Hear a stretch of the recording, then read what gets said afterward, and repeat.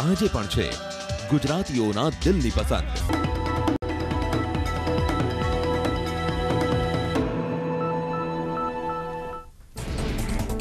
પ્રધાનમંત્રી મોદીએ પરીક્ષા પે ચર્ચા કાર્યક્રમમાં વિદ્યાર્થીઓ વાલીઓ અને શિક્ષકો સાથે સંવાદ કર્યો કોરોનાના ડર વચ્ચે બોર્ડની પરીક્ષા આપતા વિદ્યાર્થીઓએ પીએમ મોદી સાથે વાતચીત કરી વિદ્યાર્થીઓએ તેમના સવાલ પૂછ્યા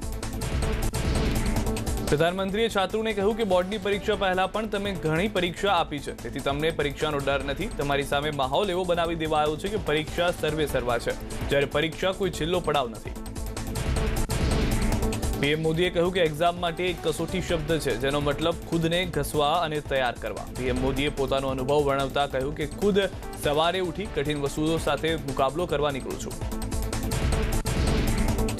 પ્રધાનમંત્રીએ વાલીઓને સંબોધિત કરતા કહ્યું અભ્યાસને લઈને બાળકો પર દબાણ ન બનાવવું જોઈએ જો આપણે બહારનું દબાણ પૂરું કરી દઈએ તો પરીક્ષાનો પ્રેશર રહેશે નહીં બાળકોને ઘરમાં તણાવ મુક્ત રાખવા જોઈએ જેથી તેમનો આત્મવિશ્વાસ વધે દેશમાં છેલ્લા ચોવીસ કલાકમાં કોરોનાના એક લાખ પંદર હજાર સાતસો છત્રીસ નવા કેસ નોંધાયા કોરોનાથી ચોવીસ કલાકમાં છસો ત્રીસ લોકોએ ગુમાવ્યો જીવ દેશમાં અત્યાર સુધીમાં એક કરોડ સત્તર લાખ બાણું બાણું હજારથી વધુ લોકો થયા પોઝિટિવ ગુજરાતમાં કોરોના વાયરસે મચાવ્યો હાહાકાર છેલ્લા ચોવીસ કલાકમાં કોરોનાના નવા ત્રણ હજાર પાંચસો પંચોતેર કેસ વધુ બાવીસ દર્દીઓના થયા મોત બાવીસો સત્તર દર્દીઓ થયા સ્વસ્થ રાજ્યમાં હાલ અઢાર હજાર છસો ચોર્યાસી એક્ટિવ કેસ એકસો પંચોતેર દર્દીઓ વેન્ટિલેટર પર અઢાર હજાર પાંચસો નવ દર્દીઓની હાલત સ્થિર સુરત જિલ્લામાં કોરોના અનકંટ્રોલ થયો સુરત જિલ્લામાં આઠસો ઓગણીસ કેસ નોંધાયા દસ દર્દીના મોત નીપજ્યા ચોવીસ કલાકમાં સુરત શહેરમાં છસો એકવીસ જ્યારે જિલ્લામાં એકસો અઠ્ઠાણું દર્દી કોરોના પોઝિટિવ અમદાવાદ જિલ્લામાં કોરોના બોમ્બ ફૂટ્યો ચોવીસ કલાકમાં અમદાવાદ જિલ્લામાં આઠસો ત્રેવીસ દર્દીઓ કોરોનાથી ગ્રસ્ત થયા વધુ છ દર્દીના નિપજ્યા મોત માત્ર અમદાવાદ શહેરમાં જ નોંધાયા આઠસો ચાર કેસ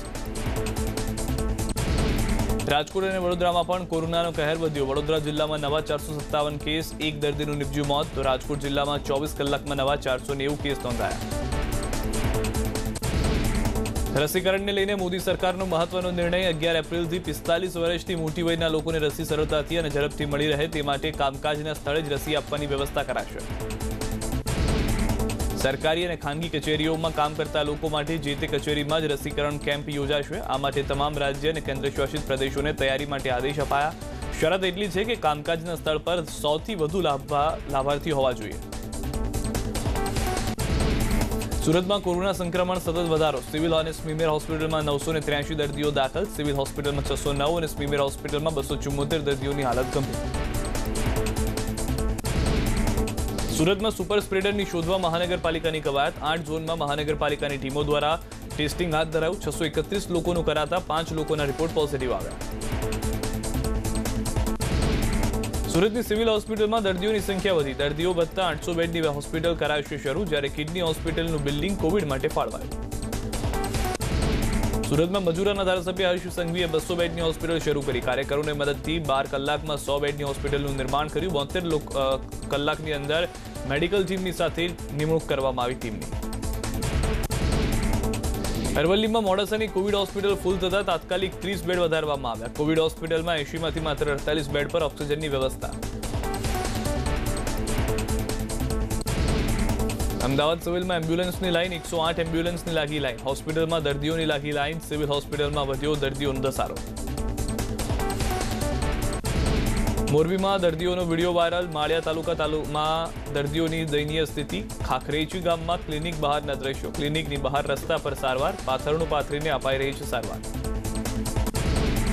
ભરૂચના અંકલેશ્વરનો વીડિયો વાયરલ. અંકલેશ્વરમાં જોવા મળી ઉલટી ગંગા. માસ્ક અંગે દંડની કાર્યવાહી. ઉલટી ગંગા અંકલેશ્વરમાં એક તરફ માસ્ક અંગે દંડ વસૂલી બીજી તરફ પાલિકાના કર્મીઓ માસ્ક વગર દેખાયા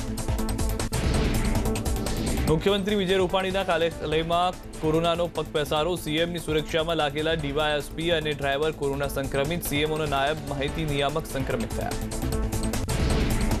આરોગ્ય મંત્રાલયના કાર્યાલયમાં કોરોનાની દસ્તક ત્રણ લોકો કોરોના સંક્રમિત થયા નાયબ મુખ્યમંત્રી નીતિન પટેલની ઓફિસમાં કર્મચારી અને તેમનો કમાન્ડો કોરોના પોઝિટિવ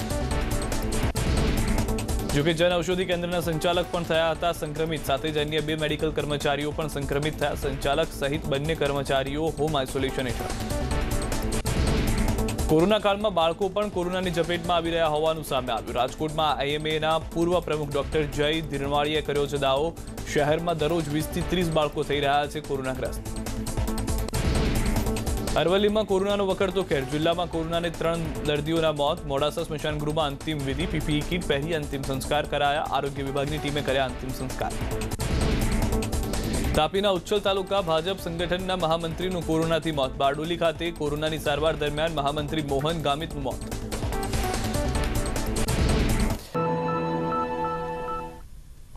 વિરમદ આપનું સ્વાગત છે નજર કરીએ અન્ય મહત્વની ખબરો પર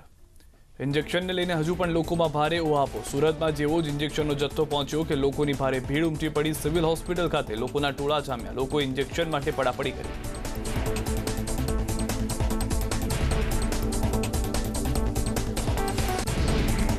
અમદાવાદમાં ઝાયડસ હોસ્પિટલ બહાર ત્રણસોથી વધુ લોકોની લાગી લાઈન રેમડેસિવિર ઇન્જેક્શન લેવા માટે લોકો સુરત રાજકોટ મહેસાણા સહિત અન્ય શહેરોથી પહોંચ્યા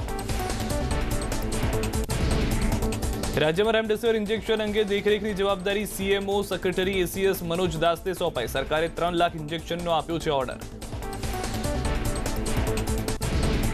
રાજસ્થાન જતા પ્રવાસીઓ માટે સમાચાર કોરોના સામે રાજસ્થાનમાં પ્રવેશ માટે સરકારનો નિર્ણય યાત્રીઓ પાસે આરટીપીસીઆર નેગેટિવ રિપોર્ટ જરૂરી આરટીપીસીઆર રિપોર્ટ નહીં હોય તો ક્વોરન્ટીન કરાશે રાજસ્થાન સરકારે કરી લોકોને અપીલ આંતરરાજ્ય જિલ્લાઓમાં પ્રવાસ ટાળો ધોરાજીમાં કોરોના સંક્રમણ વધ્યું છેલ્લા ચોવીસ કલાકમાં સુડતાલીસ લોકોના રિપોર્ટ પોઝિટિવ સિવિલ હોસ્પિટલમાં કોરોનાના ટેસ્ટ કરાવવા લોકોએ લગાવી લાઈન તાપીમાં કોરોના ટેસ્ટ માટે લાંબી કતાર વ્યારા આપત્તિ વ્યવસ્થાપન કેન્દ્ર આરટીપીસીઆર ટેસ્ટ માટે લાઈન જોવા મળી હતી ભારે તાપમાં લોકો કતારમાં ઉભા રહેવા મજબૂર સેન્ટર પર યોગ્ય વ્યવસ્થા કરવાની લોકોની માંગ મહેસાણામાં કોરોનાનું સંક્રમણ વધતા ઊંઝામાં રેપિડ ટેસ્ટ કેમ્પ ફરી શરૂ કરાયો ગાંધી ચોક ખાતે કોરોનાના ટેસ્ટિંગ ડોમ ફરી શરૂ કરવામાં આવ્યો